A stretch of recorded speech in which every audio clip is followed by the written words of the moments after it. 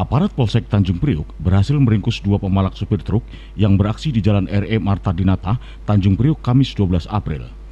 Dari kedua pelaku, polisi mengamankan uang hasil kejahatan sebesar 1,9 juta rupiah. Selain itu, juga sebilah pisau cutter yang digunakan untuk beraksi. Kedua tersangka, Doni 20 tahun dan Bagus 16 tahun, mengaku baru sekali ini melakukan aksinya karena diajak oleh ketiga temannya yang kini buron. Kapolsek Tanjung Priuk, Kompol Jono Soeharto mengatakan, satu dari dua pelaku yang tertangkap sempat menyembunyikan uang hasil rampasan ke dalam mulutnya.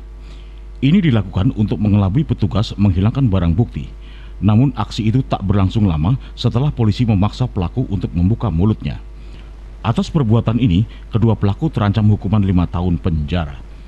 Dari Jakarta Utara, Yaya Abdul Hakim melaporkan.